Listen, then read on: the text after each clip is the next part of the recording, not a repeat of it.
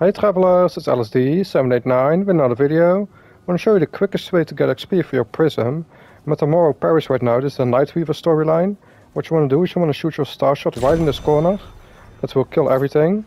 And once everything is dead, you want to reset the map. Make all the enemies uh, respawn. And then you want to shoot again. This is the quickest way to kill them all. I'll show you. I'm using the Talisman of the Sun for the fire and burning damage. Band of the Fanatic for the extra status damage and minus duration, which is really important. The Red uh, Ring of Death, which duplicates a status effect, and we're only using one status effect, so this is amazing. Shadow of Misery for more status effect damage. And I'm using the Sage Stone Ring for 10% XP gain.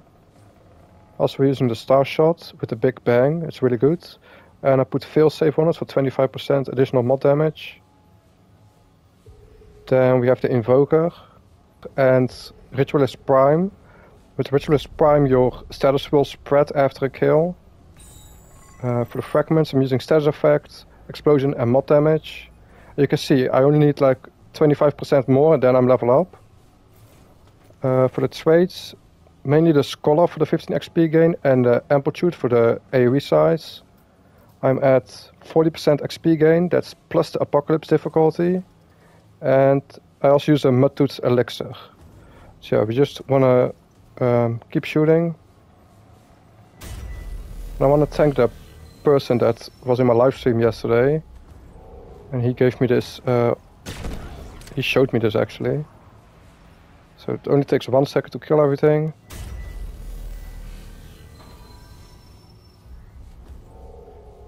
And if you don't have the exact items I have, you can switch some things around. Anything with status effect will do. But I think this talisman Amulet's really important. It like doubles my damage. It only takes one sec. Oh, I already leveled up. Perfect. Let's grab this. Do it again. So after two respawns, I did 25% of my XP gain to the next level. Done. As soon as you see everything die, you just hit it again.